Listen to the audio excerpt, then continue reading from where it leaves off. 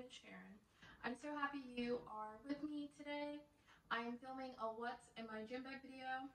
It is now mid-November, so that means it's definitely getting colder outside. Right now at school it's already started snowing, so that definitely means I'm already wearing winter boots now on my way to the gym. And so disclaimer, I am my gym is about five minutes away from campus. So I usually walk down to the gym. So usually if I have class in the morning, I'll wear my gym outfit on the way to class and I'll just walk myself right over to the gym. Or if I have time to change in between classes, then I'll just change and then put on my winter stuff and then I'll head down to the gym. So this is my gym bag. That it's a Victoria's Secret fashion show bag that I got from a thrift store quite a few years ago. It was only like $5. So if you love thrift shopping, I recommend it to you because you always find good deals and finds there. And so what I like to carry with me in my gym bag now that it's getting colder and I'm wearing my winter boots is I always have to have a good pair of running sneakers. That these are Nike sneakers. They're really good of running sneakers that I love running in these. I love working on these shoes. Like they're just so lightweight and they're just the perfect shoes to do my workouts in and they're really comfortable to wear and I wear these when I go to the gym I wear these around campus because I'm always walking up and down the hill to work and different places around town. So these shoes I highly recommend that if you go to the Nike outlet you can get them for about 40 bucks. And that um, they're definitely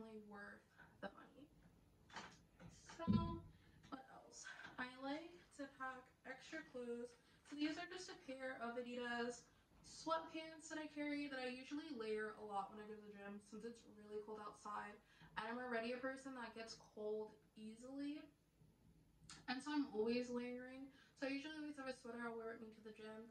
And if I have like leggings or if I wear like capris, then I'll usually put these over my pants on the way down to the gym or I'll bring these with me in my bag if I'm closer and then after the gym I'll usually put them back on when I'm done working out. Uh, they're really comfy too. And then this is like another um, training sweater that I enjoy wearing. It's really lightweight. It's really warm and comfy to wear. That sometimes I'll wear this when I warm up in the gym. And just even after my workout, just to stay a bit warmer after I'm walking back to my dorm room or walking back to class. So, yeah. Another thing I like to bring with me to the gym is um, like a stretching band. So it's always important to make sure you are stretching after your workouts so you're not hurting anything when you stretch before or after that I always make sure to stretch before and I stretch after. It's just like a nice like yoga band. So it just really helps stretch out your legs. You can even stretch out um, your arms. This is a really nice tool that I got this on Amazon for like $10. And it really does make sure you're really stretching out and making sure you're able to like mobilize your legs more. So I always take this with me to the gym and I use this after my workouts and even sometimes like before bed after just walking around all day just to like ease my legs and get them like all stretched stretch before bed. Avoid those leg cramps if you get those. I also now some jump rope with me to the gym.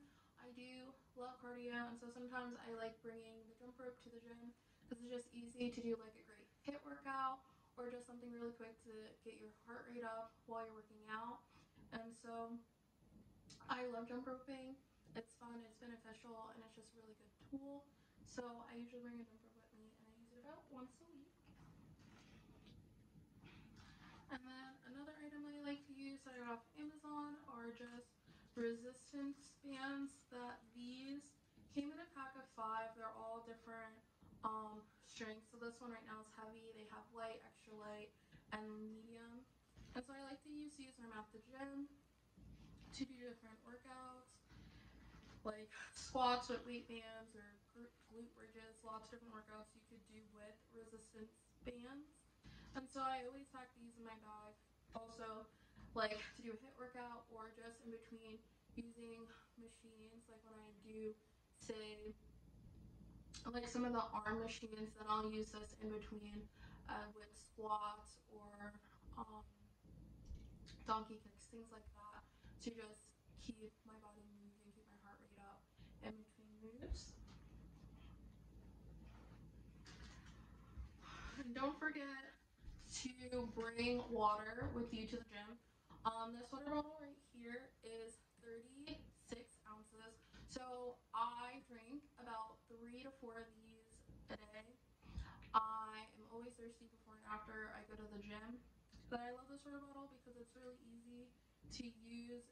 It doesn't drop. The lid is easy. That funny story, I got this when I was working at camp over the summer. That we have a lost and found bin at. And so this water bottle was like around for like weeks on end. And toward the end of camp, I was like, nobody is like claiming this water bottle, so I'm just gonna claim it for myself. And so I did. So that's how I got this nice water bottle. I bleached it and I cleaned it before using it. So if you work at camp, you can always find a good find there. Um, and I also sometimes I'll bring my iPad with me to the gym. That I do bring my phone, but sometimes if I just want to do something a little simpler, like my phone's just really big, so sometimes I bring my iPod, and this just attaches to your arm, so then you can like run with this and do a lot more things with it than always having to carry your heavy phone around. And so this is definitely a lifesaver. And then I also in here I have headphones. I can never not work out with headphones when I go to the gym. That I have an awesome pair of Bluetooth headphones I finally got with the program. I got me a pair of Bluetooth headphones over the summer, and it's the best purchase I ever gotten. But these are just fifteen dollars on Amazon. They're pretty good if you just want to get like a cheap pair for now. But I wear these all the time, and I love them. And they're really good. And it's just easier like when you're working out, because compared to this, you're not like pulling at it or it's getting tangled or you end up dropping your phone when you're switching from machines. So I definitely say invest in some Bluetooth headphones, but sometimes if these are dead or they die during my workout, I always bring a backup pair of headphones so I still have music or podcasts to listen to while I'm working out. And then I also bring hand sanitizer to the gym. Um, in between um, using machines or at the beginning or end of my workout, I like to make sure my hands are clean from touching different machines, from being on the floor, just germs, and it's getting cold outside, so people are getting sick. So I always keep hand sanitizer with me um, in my gym bag, just make sure my hands are clean. And then I also have lotion that I use probably on the way back up to school. This one is from the Body Shop. It's British Rose um, lotion. It's really good lotion. It smells divine. And I just put this on my hands because now that it's getting colder outside, your hands are getting dry. I hate when my hands are dry, so I always carry lotion in my gym bag, in my purse, in my book bag because I hate having dry hands wherever I go. It bothers me. So that's what I enjoy carrying in this little Ziploc bag. And then finally, ah, I bring my yoga mat with me to the gym. And I just bring my yoga mat with me to the gym because I do some floor exercises when I take time. So I like bringing my own yoga mat because I know that I'm the only one that uses it compared to the ones at the gym because a lot of people have been on it, and so I know this one's like clean and it's safe to use. I don't have to worry about germs and other things like that. So those are the things I like bringing with me when I go to the gym. And I hope this helps you figure out some more things about me, things I like to do and bring with me at the gym. Thank you so much for joining me today. And if you like this video, please hit the like button, please hit the subscribe button, and please comment down below if you want to see more videos like this, or if you have other suggestions of videos you would like me to do on my channel. And if you want to connect to me, connect with me on social media, my Twitter, Instagram, and blog will be listed on the side and down below. So definitely connect with me on social media. I'd love to hear from you. But I hope you enjoyed today's video. I'll talk to you soon.